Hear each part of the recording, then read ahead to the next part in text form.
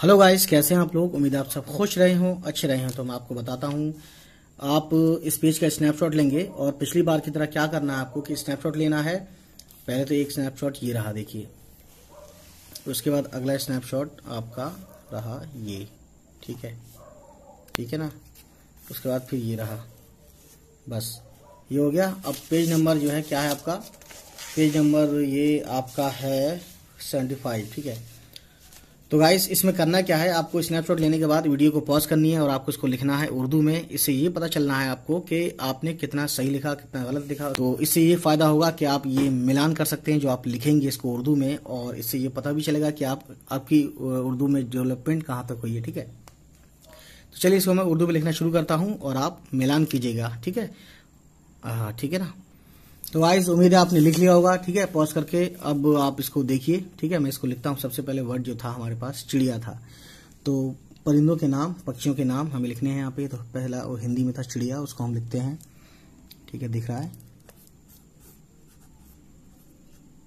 चेड़े और ये अली जबर या, ठीक है?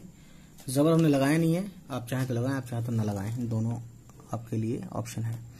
अब है बत्तख तो बे बा के लिए बे, फिर ता के लिए तोय और फिर खे।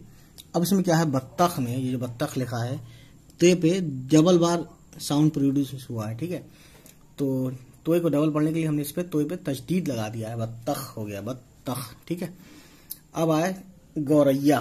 तो गो के लिए, गौ के लिए गैन, वाव, गौ, रे, और ये ये है उसके बाद मैना। तो मीम ये जेर मैं नून अली जबर ना।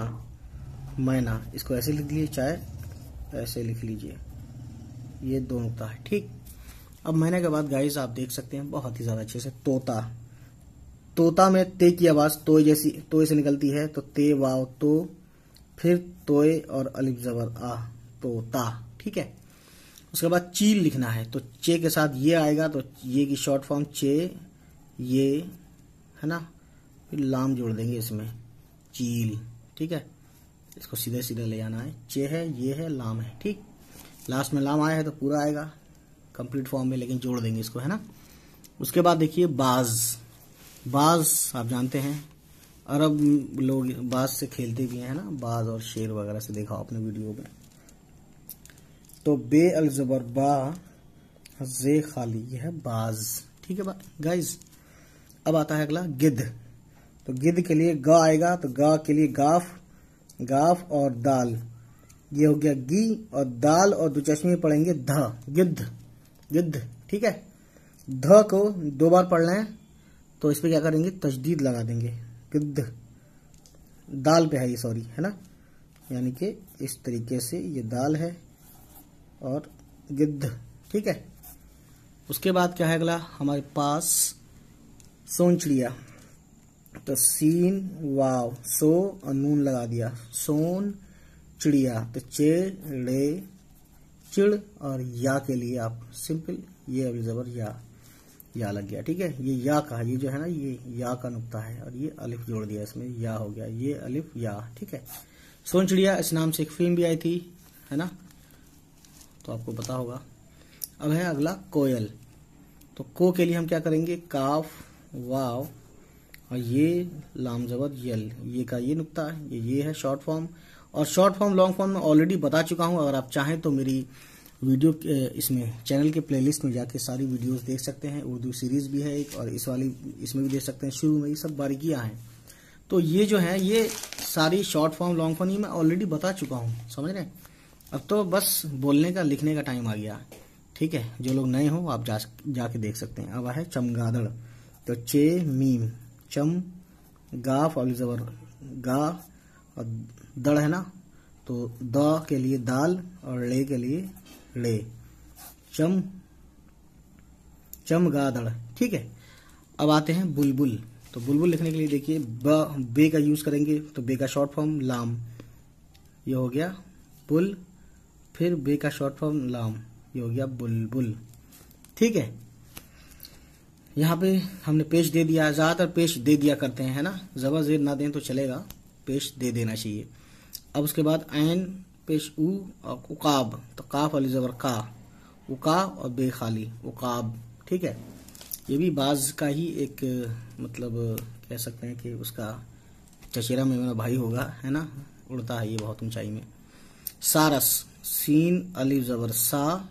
रे और सीन, रस, ये हो गया सा, रस, ठीक है? उसके बाद शुतुर मुर्ग तो शु, यहाँ पे पेश लगाएँगे हम हर हाल में, शीन पे पेशु पे ते पे पेशु तू और रे जोड़ देंगे, ये हो गया शुतुर, इतना मुर्ग के लिए मुर्ग हम अलग से लगा देंगे, मीम, रे पेशमुर गैन, पूरा आएगा लास्ट में आएगा तो तो ये हो गया शुतुर मुर्ग, शीन है, ते है शुतुर मुर्ग ठीक है? अब अगली लाइन जो साइड वाली थी, उसको देखिए। तो वाइज ये है मोर। तो मोर कैसे लिखते हैं? मीम, वाव, रे। ये हो गया मोर। ठीक है? बगुला। तो बेजबर। बा, गाफ और लाम।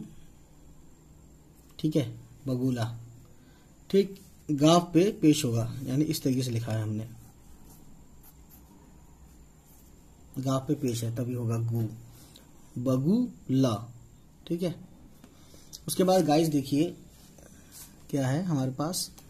मुर्गा। तो मीम पेश, मुर, मीम पेश मुँह रे, मुर, और गैन अल जबर गा, ठीक है? सिर्फ़ ऐसे लिखते हैं तो ये क्या होगा? मुर्ग। ये होगा मुर्ग। मुर्ग मसलम तो ये मुर्ग हो जाएगा। यहाँ है मुर्गा पूरा, जिसको हम देखते हैं। लाल लाल मुर्गा होता है, ज़्यादातर। उसके बाद देखिए मुर्गई तो मीम, पेश और रे। मुर, गैन, ये जर गई ये हो गया मुर्गई, ठीक है? उसके बाद गाइस देखिए, हम आपको बताना चाहते हैं, तीतर। तीतर एक परिंदे का नाम है, ते, ये। ती और फिर ते, रे, जबर, तर, तीतर, ठीक है? उसके बाद गाइस देखिए, आप समझ सकते हैं, बटेर। तो बे और टे ये। बे, जबर, ब टे ये, जे, टे। और रे खाली ये हो गया पूरा बटेर। अब देखिए गाइस फाख्ता तो फे अल जबर फा और खे, ते, छोटी है। ये फे अल जबर फा, खे और ते। फाख फाख और ते और छोटी है। ता, फाख्ता, ठीक है? फाख्ता। उर्दू में फाख्ता, हे लगाते हैं ये, है ना? इसकी हल्की आवाज़ निकालता है, लेकिन हिंदी में जब लिखेंगे आप तो आप देख भी सकते हैं। फाख्ता, ठीक है? देख भी सकते हैं कि इसमें अलिफा, ये आ डंडा आया है, ना कि हे। ठीक है? ये नहीं आया है, ये आया है। ठीक है ना? तो गाइस झूठ बोले कौआ काटे तो काफ वाव। कौ, कौवा, यानी वाव को दो बार पढ़ेंगे तो तजदीद लगा देंगे। ठीक है? इस तरह से हो गया कौवा। ठीक? अब गाइस देखिए इसमें क्या है, क्यों नहीं है। कबूतर तो काफ के लिए, क के लिए काफ, बे वाव, बू तेरे जबतर ये हो गया कबूतर, ठीक है? बे पे पेश लगा देंगे। पेश लगाना थोड़ा सा ज़रूरी समझा जाता है, ऐसा मैं मानता हूँ। उल्टा पेश लगा देंगे, है ना? कबूतर हो रहा है इसलिए। अब आप बात करते हैं उल्लू। आपने काफ़ी गुस्से में कुछ लोगों को कहा सुना होगा उल्लू के क्या होता है, आप जानते हैं। तो अलिफ पेश उ लाम लू उल्लू। लाम को दो बार पढ़े हैं तो लाम पे ये जो लाम है, इसको तजदीद लगा देंगे, यानी ये डबल पढ़ा जाएगा उल्लू, ठीक है? अब आज देखिए क्या है अगला।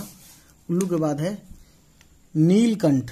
नीलकंठ एक परिंदे का नाम है। कुछ लोगों ने सुना होगा, कुछ लोगों ने नहीं सुना होगा। तो नून और ये ये हो गया नील और लाम। नील कंठ कंठ के लिए पहले का आएगा, फिर ना आएगा। ये हो गया कन और टे दो चश्मी है। इसे मिला दिया हमने तो ये हो गया कंठ। है ना? ये इसमें मत जोड़ना। अब मैं एक तरफ़ और लिख देता हूँ। ये हो गया नील। कंठ। ठीक है? ये हुई बात क्लियर उसके बाद देखिए आगे बताते हैं। चकोर। ठीक है? तो चे और काफ ये हो गया च, को। को बनाने के लिए काफ और वाव जोड़ देंगे। ये हो गया चको और रे के लिए, रा के लिए रे, चकोर। ठीक है? उसके बाद गाइस आप बहुत अच्छे से देख सकते हैं इसमें क्या है। पपीहा। पपीहा, यानी कि प, फिर प प, ये और फिर हा। पे जबर प पे ये पी और हा पपीहा ठीक है? ये पपीहा हो गया। अब है बया बया। बया क्या है मैं नहीं जानता, मैं पहली बार सुन रहा हूँ तो बे और ये अली जबर या। ये हो गया बया, ठीक है? ये बया हो गया, अब आगे देखते हैं क्या है इसके। हंस हंस, ठीक है? हंस तो सुना होगा। छोटी हे से होगा यहाँ पे। हा नून, और सीन तो ये नून यहाँ पर जोड़ दो। या ऐसे लिख लो। हे नून सीन ये हे का हो गया इतना, और ये नून का हो गया इतना, और ये सीन जोड़ दिया यहाँ पर, ठीक है? ये हो गया हंस। तो वाइस ये थी आज की कहानी, जो कि आपने देखा इसमें कि हमने किस तरह से परिंदों के नाम बताए यहाँ पे। परिंदा, जो कि हम हिंदी में बोलते हैं पक्षी, ठीक है? तो उम्मीद है ये वीडियो आपको पसंद आई हो, और अगर पसंद आई तो प्लीज़ हमारे चैनल को सब्सक्राइब कर दे, और जिनको भी उर्दू सीखनी, पढ़नी है बोलनी है, उन तक हमारी ये वीडियोस पहुँचा दें। चलिए फिर मिलते हैं आपसे। Bye bye take care